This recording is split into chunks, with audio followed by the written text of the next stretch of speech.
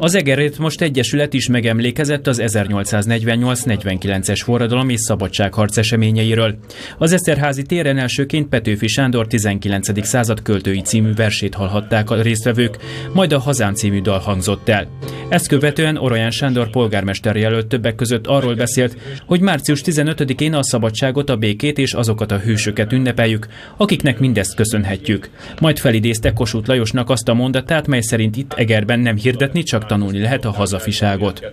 A megemlékezés végén megkoszorúzták az érseki palota falán lévő 1848-49-es emléktáblát.